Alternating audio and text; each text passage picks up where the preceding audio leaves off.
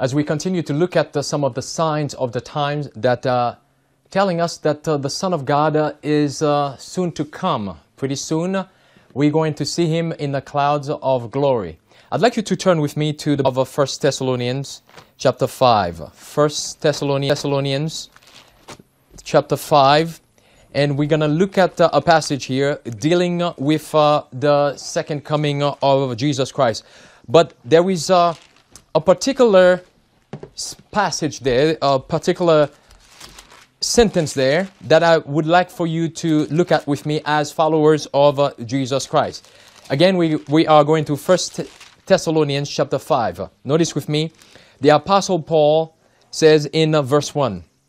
Notice, he says, But of the times and the seasons, brethren, ye have no need that I write unto you. Now, the reason why the Apostle Paul got into the times and the season it's, it's uh, a follow-up of what he just said in uh, chapter 4. He was describing the second coming. He was describing the event that would take place at, the second coming at, when the Son of Man, when the Son of God, when our loving Savior comes in the clouds of glory.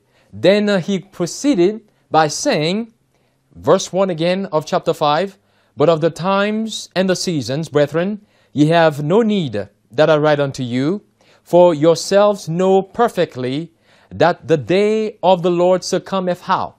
The day of the Lord will come as a thief, meaning it will come unexpectedly when the world, even the so-called Christians, are not really expecting him to come. He will come as a thief. Then he says, For when they shall say peace and safety, then sudden destruction cometh upon them, as travail upon a woman with child, and they shall not escape. But notice with me carefully now. This is an admonition or counsel. This is talking to you and I. We have the times and the seasons that we don't need to know. But as Jesus says, we can look at the signs, we can study the Word of God, and compare them with current events and we can know, we can tell, we can say without a shadow of a doubt uh, that the second coming of Jesus Christ uh, is imminent, even though we do not know the day or the hour. So when we look at what's developing around us in our world and compare them with what a thus saith the Lord, uh, we know that uh, for sure that these are indicators or indications that Jesus is coming again. The second coming is imminent. This is why the Apostle Paul says now, verse 4, But ye, brethren, are not in darkness, that that day should overtake you as a thief. Why? Notice verse 5. The, verse 5 answers that question. Ye are all the children of light. So what kind of children are we? We have the children of light. Now the word light there is, uh, is also referring to the Word of God. The Word of God is a light. Thy Word is a lamp unto my feet and a light unto my path. Well, we get, we gain our understanding by studying scriptures, by studying prophecies. And now, I, again, as I mentioned, when we look at what's, hap- what's happening, what's developing around us, we can say, based on uh, what the Bible says, based on prophecy, that Jesus is coming again. We can say that it is not business as usual and uh, we must get ready, get ready, get ready so that that day will not uh, come to us as a thief as it will come to many. Again, he says, verse 4 one more time, but ye brethren are not in darkness. If we are not in darkness, where are we? That that day again should overtake you as a thief. This is where we should be. This is where we are. Ye are all the children of light, and the children of the day. We are not of the night, nor of darkness. Therefore, let us not sleep as do others, but let us watch and uh, do what again? And be sober. For they that sleep, sleep in the night. And they that be drunken are drunken in the night. So, as we are seeing events that are developing in our world today, and uh, comparing them once again with the Word of God, And as Jesus gave uh, the disciples in Matthew 24 signs of the times, things that they should look for that would help them to know that uh, His coming is soon so that they can be ready. After all, that was the reason why God has given us uh, prophecy. He has given us prophecy to help us, to be prepared, to be ready, so that uh, we would not have any excuse, so that we could not bring uh, any kind of accusation against God and say, Well, I did not know. Well, again, He gave them prophecies to help them to remember what's developing in our world and uh, where we should be at this time. One of the signs of the times, let's go to the book of uh, Matthew with me, Matthew chapter 25. Now keep in mind, in the book of Matthew chapter 25 uh, is, uh, chapter 25 is a conti- continuation of uh, Matthew 24. Remember again uh, that the disciples came to Jesus, him for signs of the times. By way of review, they came to him Let's look at, well, before we go to chapter 25, let's look at chapter 24. Again, by way of review. And the, the Bible says in verse 1 And Jesus went out and departed from the temple, and his disciples came to him for to show him the buildings of the temple. And Jesus said unto them, See ye not all these things? Verily I say unto you, there shall not be left here one stone upon another that shall not be thrown down. And as he sat upon the Mount of Olives, notice, the disciples came unto him privately, saying, Tell us, when shall these things be? And what shall be the sign of thy coming and of the end of the world? As we covered before, and we'll continue to cover this because the Word of God never gets old, He gave them signs, wars and rumors of wars, famine, pestilences, and persecution that will come upon his, uh, his people. But as he continues to uh, give them signs and uh, make com- a comparison with other stories that we read from the Word of God, like, uh, like it was in the days of Noah, Jesus said, like it was in the days of Lot. So these are the, some of the signs that we should look for that would help us to understand that Jesus is on his way. Then, uh, as we come to chapter 25, uh, Jesus uh, again uh, continuing uh, the, the dialogue, the same conversation, the signs of the times, and then now he gets into the kind of preparation that uh, his uh, disciples, his people should be making so that that day should not take them uh, as a thief or by surprise. But one of the signs of the times we want to look at quickly here is this sign here that we find in Matthew 25. and notice with me, in uh, verse, uh, let's begin in verse 31. He says, When the Son of Man shall come in his glory, and all the holy angels with him, then shall he sit upon the throne of his glory. And before him shall be gathered all the nations, and he shall separate them one from another, as a shepherd divideth his sheep from the goats. But he shall set the sheep on his right hand, but the goats on the left. Then shall the king say, Notice with me carefully, then shall the king say unto them on his right hand, Come, ye blessed of my Father, inherit the kingdom prepared for you from the foundation of the world. Who are these individuals that would receive this generous, this kind invitation there? Notice with me, the Bible goes on to say in verse 35, For, notice now, that's the answer to the question, who are these individuals? For I was an hungered and uh, he gave me meat. I was thirsty, and he gave me drink. I was a stranger, and you took me in. So, who is Jesus referring to here? Which class of people is he referring to? That is uh, the poor, the needy, that he's referring to. So, according to Revelation 13, we also saw that there will be two classes of people the rich and the poor. And one of the reasons why the majority will receive uh, the mark of the beast, it is because uh, of lack of food, lack of their basic necessity, as we saw before in India, how many, the poorest, are going along with the system, this biometric system, this cashless society that they have in India because otherwise they would not be able to buy uh, or sell. So Jesus says that uh, when you do service, when you help the needy, notice, let's keep reading God's word. He goes on to say, verse 36, naked, he says, and he clothed me. I was sick, and ye visited me. I was in prison, and ye came unto me. Notice, then shall the righteous answer him, saying, Lord, when saw we thee and hungered and fed thee, or thirsty and gave thee drink? When saw we thee a stranger and took thee in, or naked and clothed thee? Or when saw we thee sick or in prison and came unto thee? And the king, uh, notice the answer there, shall answer and say unto them, Verily I say unto you, inasmuch as ye have done it unto one of the least of these my brethren, you have done it to whom?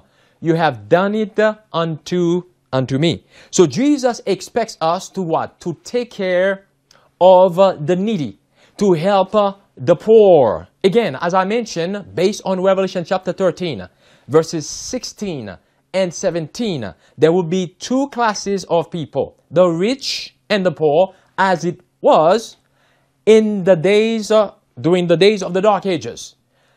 Many will receive the mark of the beast once again uh, because of their basic necessity. So Christ expects us, as He did for you and I. We were poor, naked, miserable in our sin. And what did He do? For our sake, the Bible says, He became uh, poor so that uh, we might inherit uh, eternity, so that we might inherit uh, glory, we might inherit uh, everything, even sitting at the throne of God, as we read about in Revelation chapter 2. So Jesus expects us to make these type of sacrifices in these last days as he did for you and for me. We're talking about uh, the poor in these last days. One of the signs of the times. And as we see things uh, the way they're heading right now, with uh, the measures the nations of this of uh, this world are taking, implementing a system, a biometric, a cashless society system, who do you think will suffer the most? It is the poor. So those of us who have the means, even uh, if you do not have much, Christ expects me, Christ expects us uh, to make sacrifices uh, to help those uh, that are less fortunate than you and I. And as a result of this, uh, many of them will not receive the mark of the beast. Notice with me what Sister White says here. From uh, Adventist Home 370, she says, if we represent, notice with me carefully, the character of Christ, every particle of selfishness must be expelled from the soul. In carrying forward the work he gave to our hands, it will be necessary for us, notice, to give every jot and title of our what? Means that we can spare. Notice now, poverty and distress in families will come to our knowledge, and afflicted and suffering ones will have to be relieved. Then it says, God's stewards are to minister to whom? To the needy. As we just read there in uh, Matthew chapter 25 again, he says, uh, verse 35, uh, For I was an hungered, and ye gave me meat. I was thirsty, and ye gave me drink. I was a stranger, and what did you do? And you took me in. Then skip on down uh, to verse uh, 40. He says, And the king shall say unto, unto them, Verily I say unto you, inasmuch as ye have done it unto one of the least of these, uh, my brethren, uh, ye have done it uh, unto me. The Bible again says uh, in uh, Luke, go to the book of Luke with me. Luke chapter 4. The book of Luke chapter 4. And uh, notice now, in Luke chapter 4, again, the background is Jesus came back to Nazareth after fasting in the wilderness 40 days. He experienced hunger. He, he was uh, homeless, no shelter, in the wilderness, even uh, during uh, his three and a half years of ministry, he did not have uh, a place to lay his head, the Bible says. Again, notice with me, the Bible says in verse 18, he came to Nazareth, they, he went to the temple on the Sabbath, they gave him the book to read. Then verse 18 says, The Spirit of the Lord is upon me, because he hath anointed me to preach the gospel to whom? To the to the poor. Who was the first class of people there? That the Bible says, uh, Jesus himself says, that uh, the Spirit of the Lord uh, that was upon him uh, was uh, directing him to pre- preach the gospel to the poor. And uh, that is all of us. It doesn't matter if we have millions of dollars in the bank. There are two ways that we are poor here physically speaking and also spiritually speaking. That's all of us. So he left eternity, he left glory, he came here because we were poor, naked, miserable. He came here to preach the gospel unto us and to heal our brokenhearted and to preach deliverance to the captives and recovering of sight to the blind, to set at liberty them that are bruised, to set at liberty, to let us, to set us free. That's redemption, to buy us back, to give us everything. He made the exchange.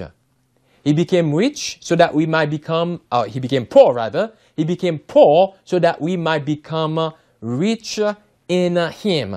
So one of the signs of the times that Jesus gave us in Matthew 25 uh, is the poor, to take care of the poor. Let's go to the book of Proverbs with me. We're going to Proverbs, rather, Proverbs chapter 19. Let's go to the book of Proverbs chapter 19. And the Bible says in Proverbs chapter 19, uh, speaking of the poor, it says, let's look at verse 1. It says, Better is the poor that walketh in his, uh, how? It, integrity than he that is perverse uh, in his lips uh, and is a water and is, uh, is a fool. Now skip on down with me. Skip on down to verse 17. It says, He that have pity upon the poor lendeth unto whom? Lendeth unto the Lord. And that which he hath uh, given, what will happen to him? Will he pay him again? So whatever we give to the poor, whatever sacrifices that we made to the poor, keep in mind Matthew chapter 25 that we just read. Jesus says, when you do that, when you make this type of sacrifices, you have done it unto me. You've done it for me. So the Bible says once again, uh, he that have pity upon the poor lendeth unto whom? Unto the Lord. It's similar to what Jesus says, uh, lay not for yourself uh, treasures upon the earth, uh, but invest your means, your talents uh, into the kingdom, where it will not get corrupt, uh, rust. Again, he says, when you make a sacrifice, when you help the poor, when you have pity upon the poor, you are lending to the Lord, and that which he have given, what will the Lord do? He will repay again. Chapter 28 this time of the same book, chapter 28.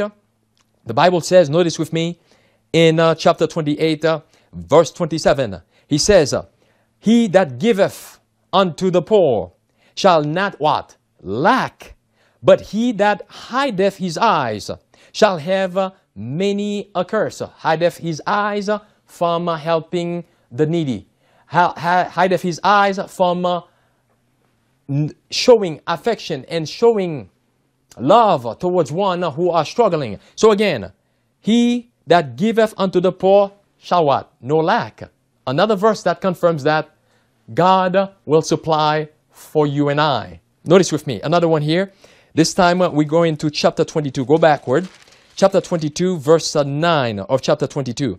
The Bible says once again, He that hath a bountiful eye shall be blessed. Notice, well, for what reason? For he giveth of his bread to whom? To the poor. For he giveth his bread unto whom?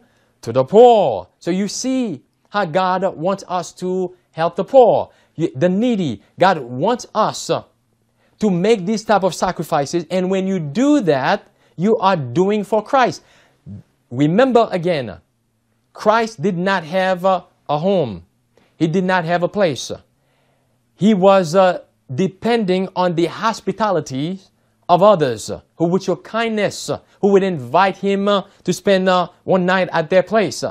So we, again, we are reminded that when we help others, sometimes angels can will disguise in a form of a human person, and uh, that and they will do that to test you and I to see if we would lend a hand to them. Another passage here. Let's go to the book of Deuteronomy this time. Let's go to Deuteronomy chapter 15. Deuteronomy chapter 15. Notice with me what the Word of God says in chapter 15 of uh, the book of Deuteronomy, beginning in verse 7.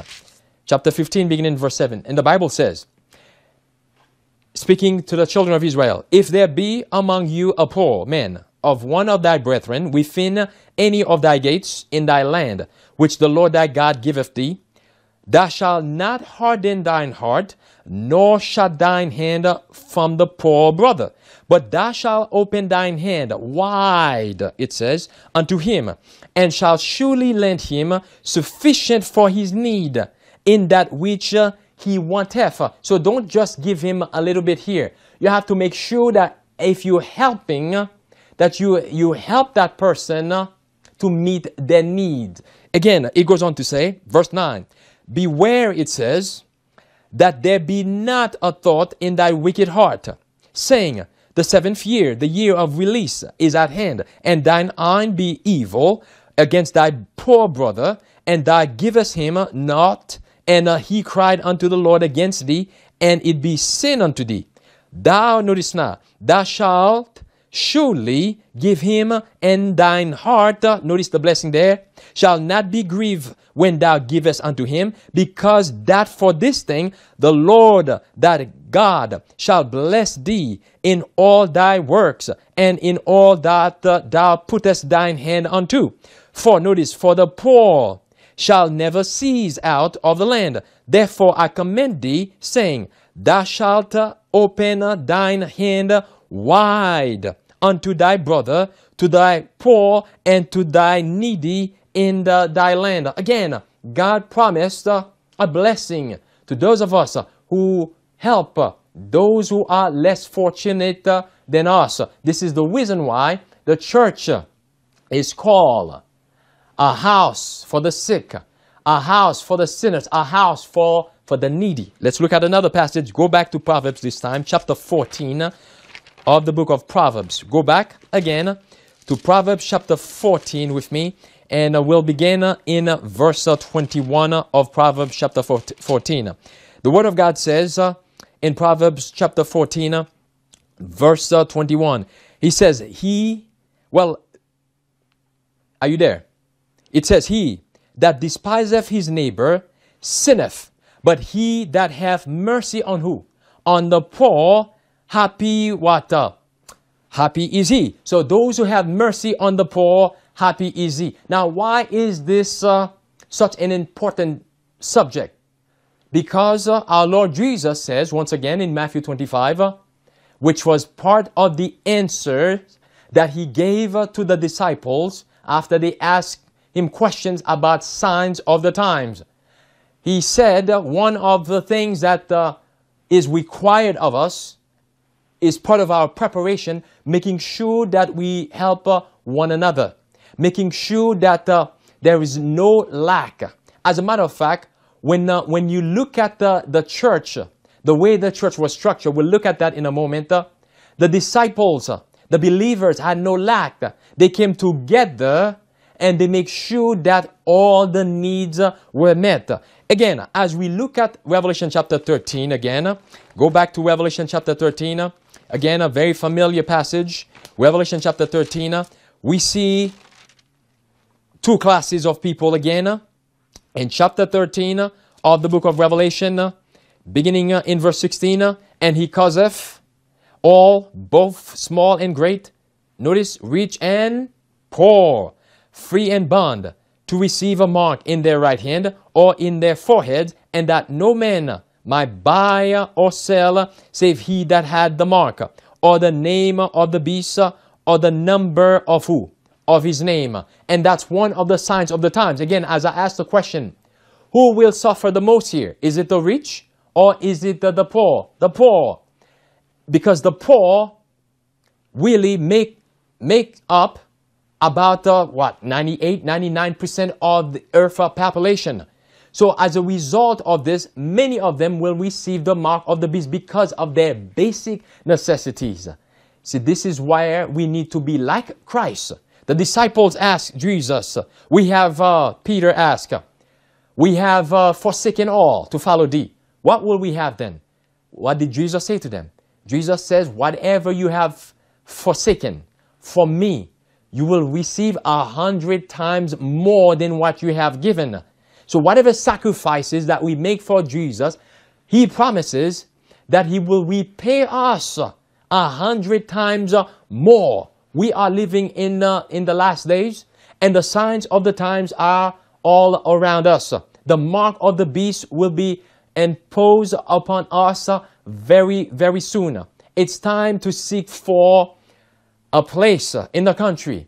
It to, it's time to help those that are less fortunate, especially those of our faiths, we were told. Notice with me what Sister White says here from uh, volume 5 of the testimony, page 152. Notice the year there.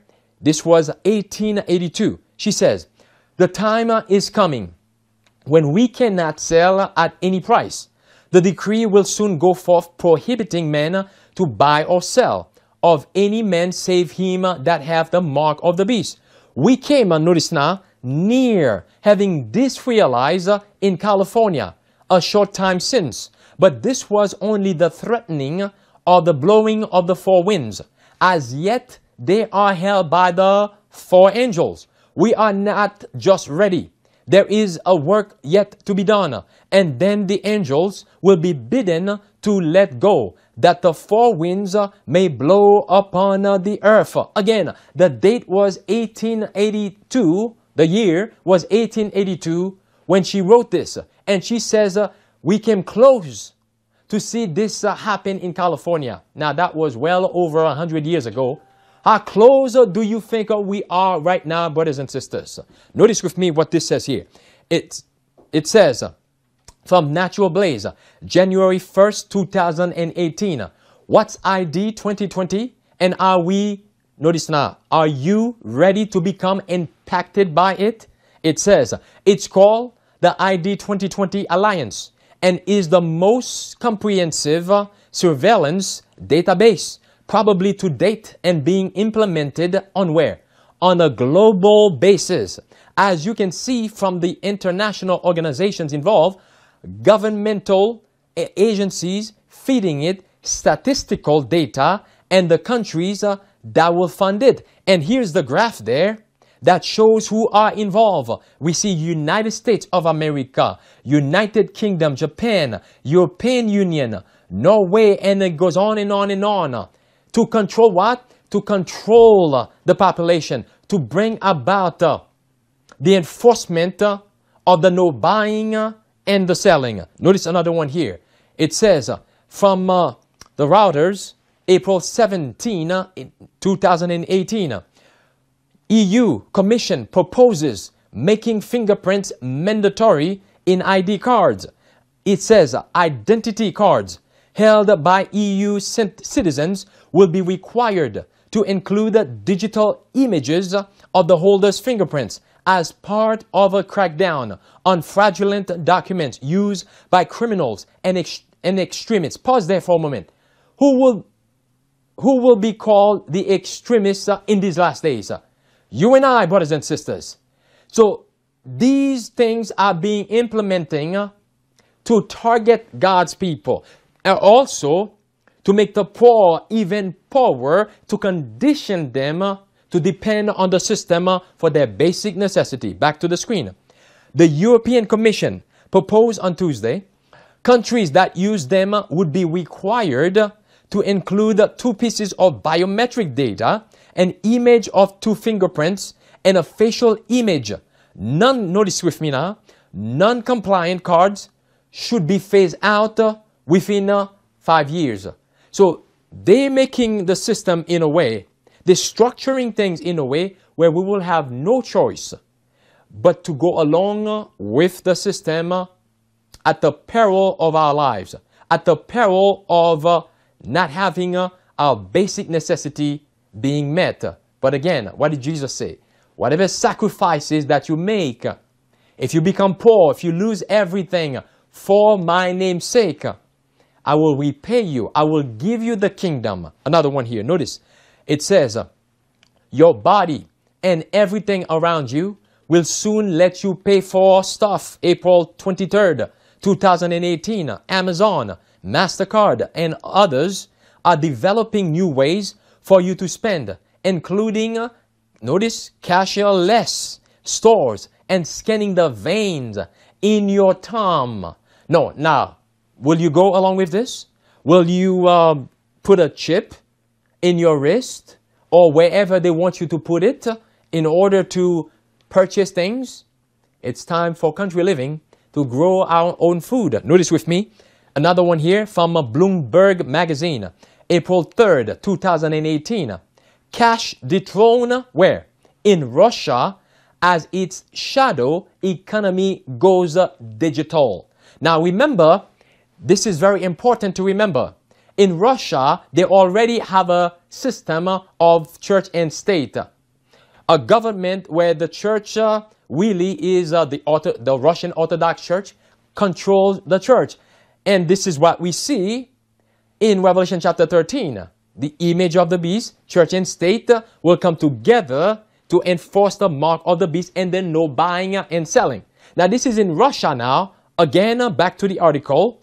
It says cash dethrone in Russia as its shadow economy goes how? Goes digital. So they're already taking a measure against uh, those who are going uh, or who have uh, some new or different interpretation uh, of scriptures that than uh, the Orthodox Church or the main church there, as we saw with uh, what they've done with the Jehovah Witnesses. But we know as uh, Seventh Day Adventists, we have compromised. Uh, we are in bed with the government over there, and that's why we're still standing. But now, they taking measure, getting rid of the rubble, and uh, getting rid of the cash into a biometric system. But notice with me the next few articles dealing with what's happening in Russia. It says there, Vladimir Putin mandates new rules for what? For cryptocurrencies and ICOs.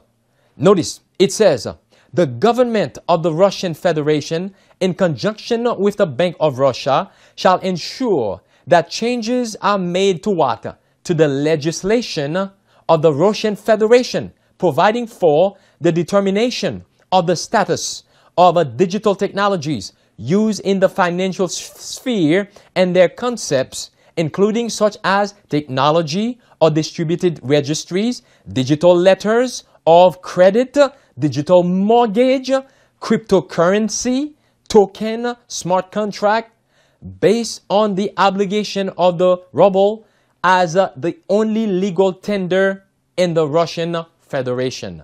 So you see what's happening in our world. It's, it's a global movement to get rid of cash by uh, 2020. And we see many nations, as I mentioned in India, China, they already have this system and they are enforcing it on the majority. Notice another article here again, dealing with Russia, Bloomberg Markets, March 29th. 2018, Russia's shadow economy goes what? Goes cashless under state banks' watch. Along with the rest of Russia, the gray economy is going digital, said Yegor Grigorenko, partner at the Bain & Co. in Moscow. That's because transaction costs and operational risk is using online channels have become far lower in recent years compared to cash. Additionally, modest payments linked to small business don't get on the radar of uh, tax uh, authorities. Now, what do they call modest payments there? They, they're talking about the cash, uh, but they're also referring to there are transactions that are being made that the government cannot track down because it's cash. It's being done with, with cash. So they want to implement a, a, digital system, a biometric system where they can control your behavior, your buying and your selling. And so they can also stop you from buying and selling. Same article goes on to say, notice now, it says, uh, the increasing visibility is creating a catch 22 for the government, which has long wanted to get a better grip. Notice now, on the shadow part of the economy estimated at more than a third of gross domestic product. Although the new digital dimension is giving a glimpse into activities that would otherwise go undocumented.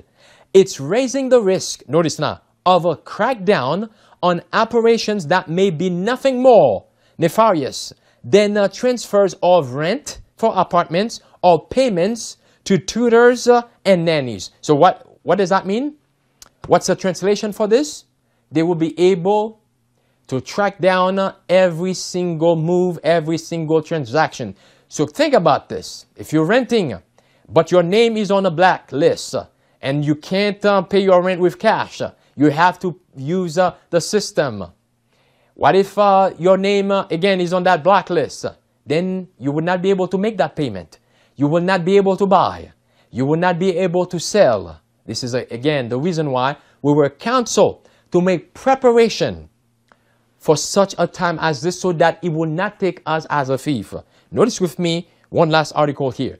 It says from HuffPost, February 16, 2018, in the rush toward a cashless society, the poorest are at risk of further exclusion. So again, who will suffer from this?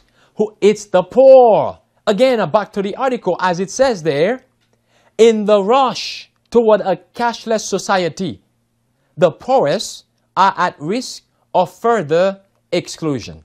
So, brothers and sisters, this is the reason why Jesus says in Matthew 25 to help those that are needy. And uh, we are part of the needy. Doesn't matter who you are, how much money you have.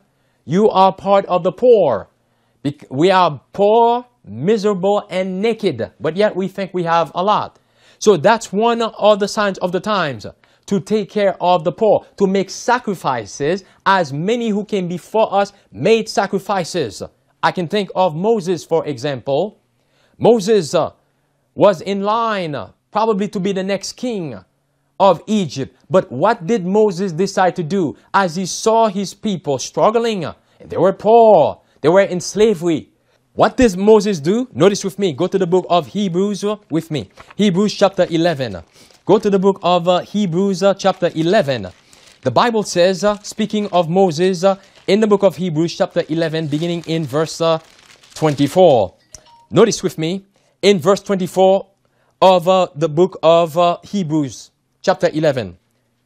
Hebrews 11 verse 24. It says, by faith, Moses, when he was come to years, what did he do? Refused to be called the son of Pharaoh's daughter, choosing rather to suffer, to do what? To suffer affliction with the people of God. And uh, again, the background, where were the people of God? Where were they? In Egypt, in slavery, poor. Didn't have anything. Moses chose to step down from the throne to become uh, poor to help his people. That was a type of Christ. That was a type of what we just read uh, in Luke 4. That Jesus came to preach the gospel to the poor, left the kingdom, left all the riches, left the glory to come here. Notice again, it says, verse 25 again, Moses chooses rather to suffer affliction with the people of God than to what? Than to enjoy the pleasures of sin for a season, esteeming, notice now, the reproach of who? The reproach of Christ, the humiliation of Christ, greater riches than the treasures in Egypt, for he had respect unto the recompense of the reward. What's the recompense of the, of, of the reward there? Moses was not looking at the earthly riches. He was looking at the heavenly riches. He was looking at the, the being with Jesus Christ himself. He was looking at the new earth. And he stepped down from the throne to help uh, the people of God uh, who were in slavery, who were poor. Then he says uh, in verse 27, by faith he forsook Egypt, not fearing the wrath of the king, for he, notice the word there, for he what? Endured as seeing him who is uh, invisible. So he made the sacrifice uh, so that uh, he might be a savior to the people of God. So he might endure with them. He became poor. Moses became poor because he saw the need. He made the sacrifice. This is what uh, God is calling us to do. As Jesus says, notice with me, go to Matthew, Matthew chapter 19. That's what it means uh, to be one with Christ, uh, to crucify the flesh. Matthew chapter 19, Jesus again was talking to the young man young uh, rich man who came to him and desiring and asking him question about uh, it says uh, no, notice with me verse 16 and behold one came uh, and said unto him good master what good thing shall i do that i may have uh, eternal life skip on down with me jesus told him in verse 18 uh, to keep the commandments in verse 19 and the young man reply in verse 20 the young man saith unto him all these things have I kept from my youth up. What like I yet? Jesus said unto him, If thou wilt be, what's the word there? Perfect. So if you want to be perfect, to be holy, to live in my sight, in my presence, what must you do? Go and sell that thou hast and uh, do what?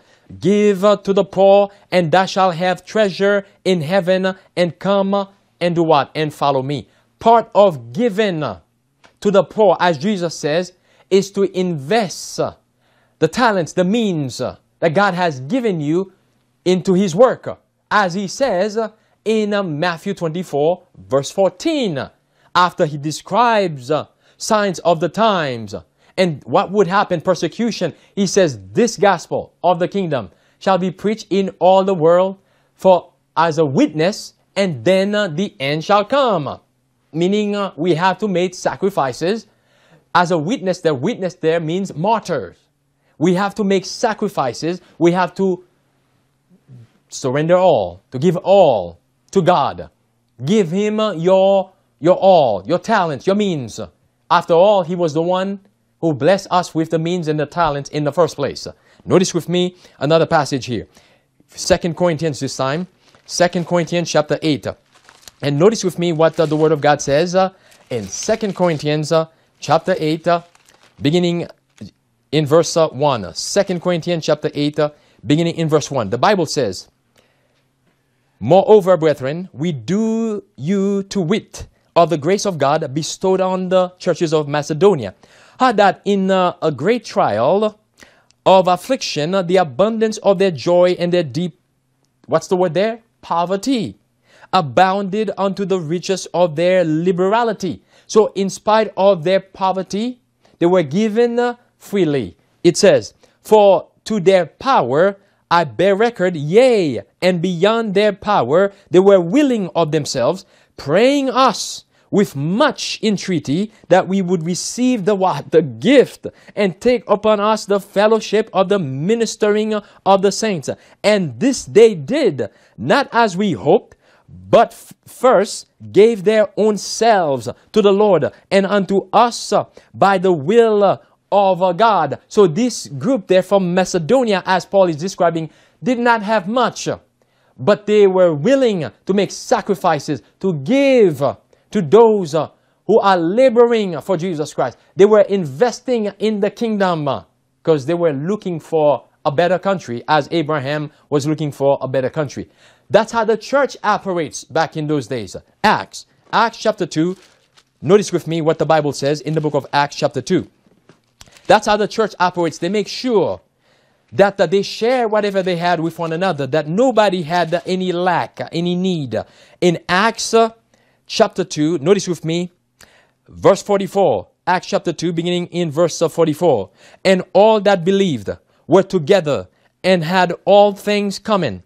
And what did they do? Sold their possessions and goods and parted them to all men as every man had, uh, notice now, as uh, every man had uh, need. So they brought everything together and they, they um, dis- distribute it to make sure that nobody had any lack, any need. And then the Bible says, and they continuing daily with one accord in the temple and breaking bread from house to house did eat their meat with gladness and singleness of of heart, praising God. Verse 47 says, and having favor with all the people, and the Lord added to the church daily such as should be saved, as they were making sacrifices, as they had all things in common, as they were taking care of one another, of the needy among them, the Lord blessed them. The Lord added to the church.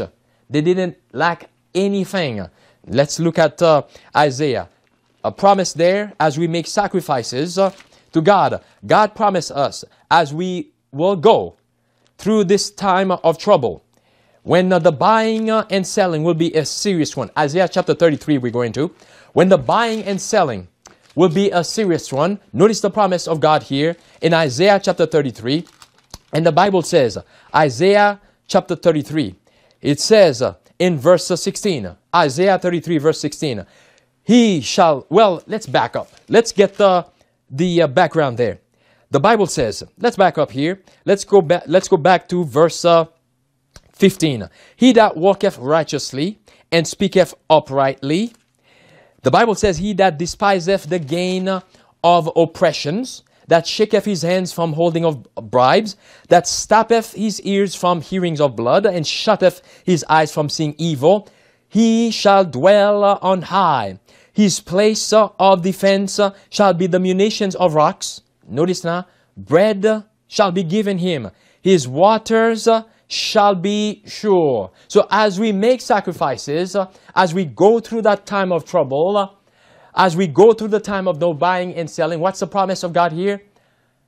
That your bread and your water shall be sure. And as Jesus promised the disciples in Matthew chapter 25, uh, when you help the poor, when you feed the hungry, you have done it unto me.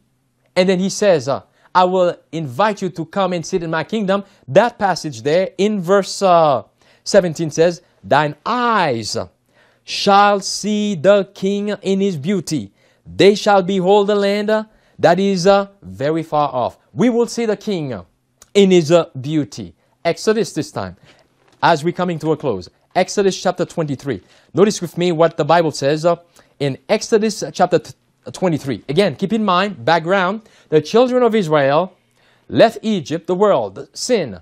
They were in the wilderness, uh, journeying to the promised land. And the Bible says in Exodus chapter 23, notice with me in uh, verse uh, 25, it says, And ye shall serve the Lord your God, and he shall bless thy what? Thy bread and thy water, and I will take sickness away from the midst uh, of thee. So, what will God do for you and I as we make uh, sacrifices, as we help uh, the needy? He will repay us. He will make sure as we go through the time of trouble uh, that our, our bread and water will be sure that He will provide for you and I.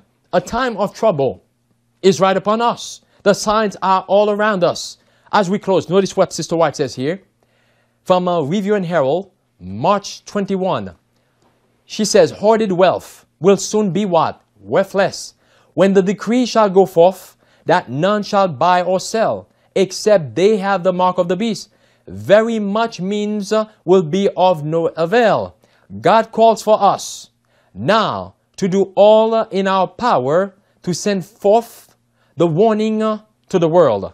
So God calls for us at this time to do what? To send the warning uh, to the world to make sacrifices because uh, the signs are all around us. Jesus is coming again. It won't be long now. This is not going to be a matter of 100 years. I don't know the day, I don't know the time. But one thing I do know is that we must get ready, get ready, and get ready. Let's pray. Loving Father, which art in heaven, we thank you, Father, for provide for us on a daily basis. You've been so good to us. And help us to be a blessing to others as you have been a blessing to us. Help us, Father, to uh, invest in your kingdom by making sacrifices that would last throughout eternity.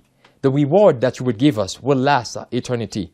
Help us, Father, to be prepared, to be ready, and to stay ready until you come again. In Jesus' name, amen.